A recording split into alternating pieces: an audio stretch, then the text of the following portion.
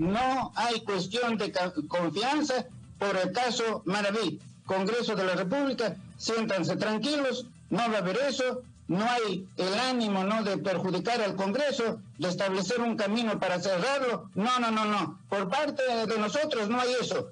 De forma categórica, el ministro de Justicia, Aníbal Torres, descartó que el gobierno recurra a la cuestión de confianza para evitar una eventual censura del titular de trabajo, Iber Maravi. Aseguró que se trata de una decisión del presidente de la República que ya ha sido informada a todos los miembros del gabinete. Y yo repito y subrayo nosotros porque el señor Premier también lo ha entendido. Guido Bellido también lo ha entendido. En un equipo puede haber diferencias, puede haber contradicciones, no, pero mediante el diálogo eh, se llega a una solución.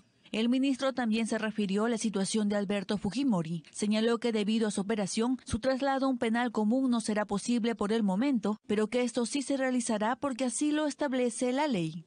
Que no es crimen cumplir la ley. Yo lo que estoy haciendo es este, cumpliendo con la ley. Nada más.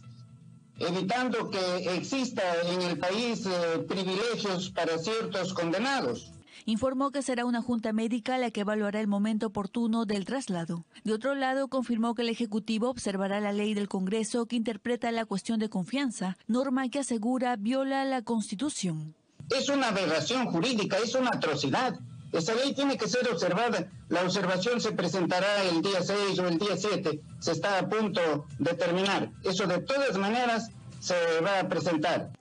Aseguró que en caso el Congreso apruebe la norma por insistencia, recurrirán al Tribunal Constitucional. Asimismo, anunció que el Ejecutivo presentará otro proyecto de ley sobre la cuestión de confianza, pero respetando el procedimiento jurídico.